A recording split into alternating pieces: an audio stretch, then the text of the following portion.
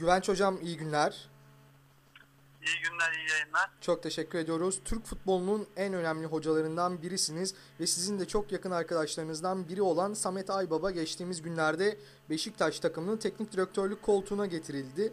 Ancak bu atamadan sonra Beşiktaş yönetiminin kendisiyle anlaşmasından sonra verdiği kararlar daha sahaya çıkmadan Samet Hoca çok konuşulmaya başlandı. Özellikle Quaresma ile yolların ayrılacağı, Ernst gibi takımın önemli bir isminin kampa götürülmeyeceği taraftarlar tarafından çok büyük bir tepkiyle karşılandı. Sizin bu konudaki düşünceleriniz nelerdir Beşiktaş'la ilgili olarak? Ya benim ben olsam e, e, şeyi de e, Quaresma'yı işte Fernandez'i Almeda'yı mutlaka kadroda e, tutup daha doğrusu kadro tutmak önemli değil. Onları oynatma çabası içerisine girerdi.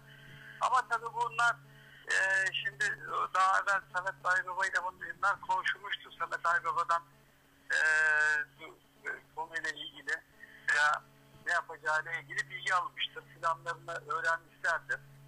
E, değerli bir müsabakada bağladıktan sonra Samet Aybaba ile anlaşmışlardır. Yani bu sonradan Samet Aybaba'nın aldığı bir karar değildir geliyor bana. Ama Samet tabii tecrübeli bir teknik arkadaşımız, teknik yapan. İşte işte çok seven, içinden yetişmiş, senelerce kaptanlığı yapmış, oynamış bir e, teknik adam. Beşiktaş'ın içinde en iyi şekilde düşeceğini e, tahmin ediyorum. E, ama tabii benim şahsi fikrim ben olsam Quaresma gibi bir adam e, oynatma çabası içerisine girerdim. Zaten Quaresma'yı bana göre de yanlış oynatıyorlar.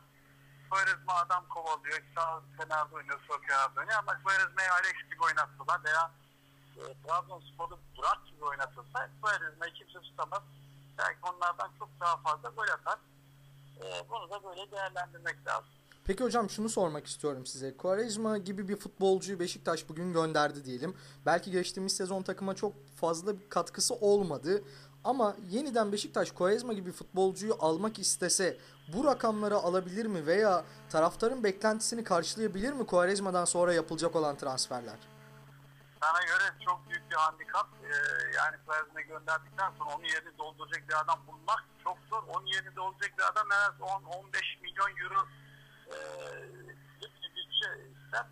Bu da çok zor. Beşiktaş şu anda e, bu parayı bulmaları çok zor ada gelecek adamına ne vereceği belli olmaz. Onun için de e, bana göre Ferizme'yi değerlendirmekte fayda var diye düşünüyorum. Peki hocam e, Ernst'i de şu an için kampa gidecek oyuncular arasına almadı Samet Aybaba. Ernst için düşünceleriniz nelerdir? Beşiktaş'a geldiği ilk sezon Mustafa Denizli döneminde şampiyonluğun en önemli oyuncularından biriydi. Ernst'le ilgili tabii hocanın tasarrufudur. E, ne düşünüyor bilmiyorum. Ernst çok koşan bir e, futbolcu. Ama e, şöyle söyleyeyim, Ens'i biraz taktik açısından e, eğitmek lazım. Ben olsam Ens'i taktik açısından biraz eğitir.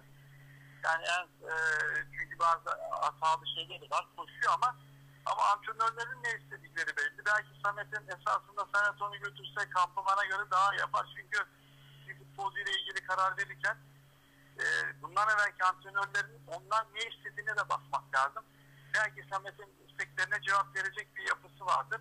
O da önemli. Ben gelmiş olsam eğer e, eksikleri var. Savunmayla ilgili bana göre çok eksiği var. Fazla koşmak demek fazla savunma yapma anlamında değildir ama onu eğitirseniz istediğiniz şeyleri bir size verebilir. E, verdikten sonra da kıymeti yok. Şey, e, yani e, başka bir şey aramaya gerek yok. E, başka bir transfer aramaya gerek yok. Benim için aynı şeyleri söyleyebiliyorum.